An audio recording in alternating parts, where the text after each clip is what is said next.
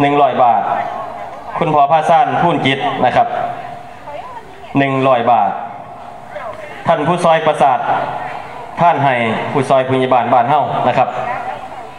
หนึ่งร้อยบาท คุณแม่จันทุ่งสามารถเนี่ยอบตอา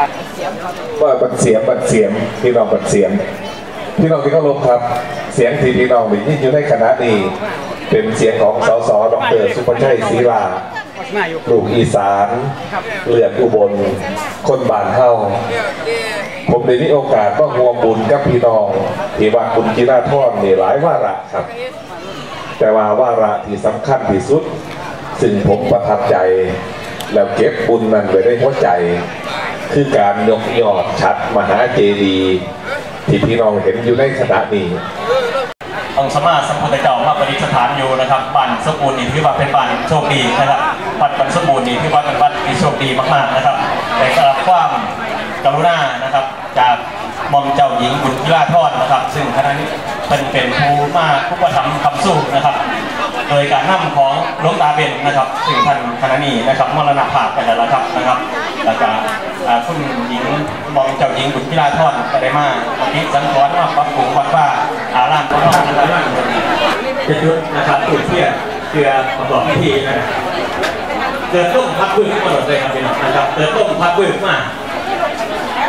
เป็นรูปมาแปลกๆนะครับแสดงว่าเจ้าที่เจ้าทานเจ้าวัดเจ้าว่าหรือสิ่งศักดิ์สิทธิ์เยาวชนของมันสมบูรณ์เฮานะครับทุกผู้ทุกคนนะครับเบิ่งซอยกันนะครับยกพระเขาพระป่านะครับเขาป่าอาหารนะครับให้พี่ให้น้องเฮานี่ไตรสลานะครับเออนะครับยังยังยังอันนี้ดูครับเอามาไตรสลานี่นะครับจะสองว่านะครับ บอกนะครับเลิกครับทางทางไหนเดี๋ยวบอกท่านในพระเขาพระนางนะครับกับแจงไอสาบนะครับครับผมจะนำไล่ซื้อนะครับตีต่อจากที่ผมได้ค้างๆไว้นะครับ จะได้นำเรียนให้พี่น้องได้ทราบอีกต่อไปนะครับ